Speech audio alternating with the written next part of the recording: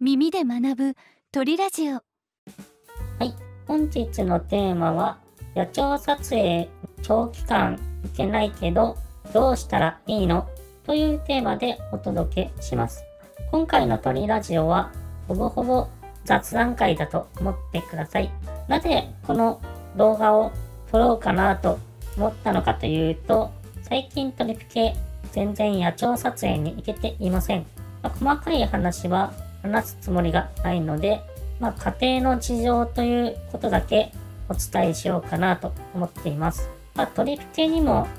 家庭があって、その家庭都合で、まあ、なかなか野鳥撮影に行けないなっていう時が、まあ、最近発生し始めてるんですけど、まあこのように YouTube で野鳥に関する情報を発信していると、まあ何かしら野鳥に関する動画を出さないといけないという状況にあるわけですね。で、具体的にどれぐらい野鳥撮影に行けてないかというと、一番最後が2024年の3月で、それからずっと野鳥撮影に行けてなくて、今が2024年の1月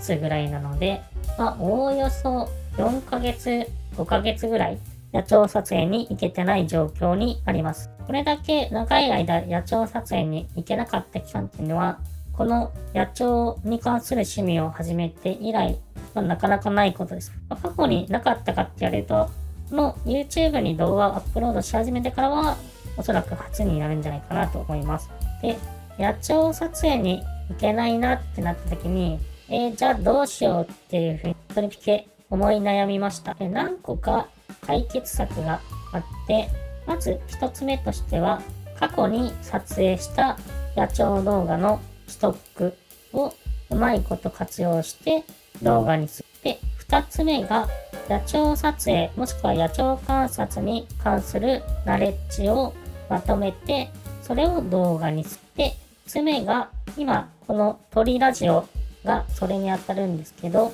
野鳥撮影もしくは野鳥観察をしていた時期に頭の中で悶々と思っていたことをうまく書き出してそれを動画にする。これが今この発信してる鳥ラジオ。で4番としては野鳥に関する知識を自分の中にインプットしてそれを動画にする。これは野鳥の本とか野鳥図鑑とかそのあたりを見て自分以外の野鳥好きの人の考え方をうまく自分に取り込んでで、インプットしたものをある程度取り付けの解釈を踏まえた上でアウトプット。そういう形になります。で、この4番は必ずしもそのままストレートに動画にかかってるとそうでもなくて、一旦取り付けの中で野鳥に関する知識を溜め込んで、それが、ま、すぐアウトプットできればいいんですけど、別にすぐアウトプットできなくても、何年か溜め込んだ上で、それをうまいこと解釈して動画にする。というので、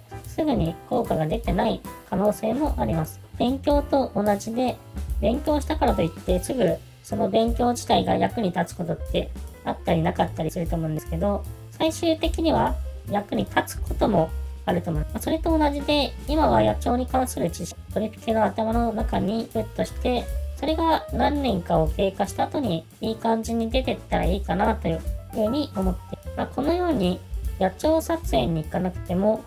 過去に野鳥撮影をしていたデータとか知見とか知識とか、その辺があれば、まあ別に野鳥撮影に行かなくて、野鳥に関することで、うまいこと時間を使っていくことができるなっていうのは最近感じて、まあ、本当であれば野鳥撮影に行きたいんですけど、その今できないことを強引にやるっていうのは、ちょっといろんなバランスを崩してしまうので、今自分の中でやれることをやっていくと。そういうことしかできないかなとというところですね。まあ、別にこれは野鳥撮影とか野鳥観察に限らず、人生全般でそういったうまいことやっていくしかないので、やれることをやっていくスキルかなというところです。おそらく、まあこのように野鳥撮影に行かなくても楽しめること、野鳥に関して楽しめることは、ここから先1年ぐらいは全然できると思うんですけど、自分が野鳥撮影って思ってることが全てアウトプットし終えたら、ちょっとその時はやっぱり野鳥撮影しないと立ち行かなくなるなという感じはします。結構トリピケ自分の頭の中だけで思っていて、